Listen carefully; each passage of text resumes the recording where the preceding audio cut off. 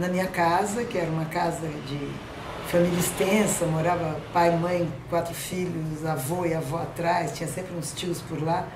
E no dia 31 de março, é, tinha um, um de a família ouvindo rádio. É, a gente já tinha televisão, mas a coisa vinha pelo rádio. A notícia rápida era pelo rádio naquela época. E uma tia-avó que era muito carola e era amiga do Dom Agnello Rossi, que era um padre bem de direita aqui de, de São Paulo, um cardeal.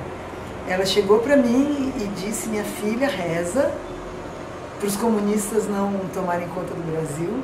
Eu lembro muito bem. E ela falou: só tem um homem que pode salvar o Brasil, o Dr. Auro de Moura Andrade. E, e, então eu fico achando sempre que a culpa era minha, porque eu rezei, né? Então a culpa foi minha no golpe, porque acabou dando certo o golpe que a minha tia queria. E o Dr. Auro de Moura Andrade salvou o Brasil, é, entre aspas.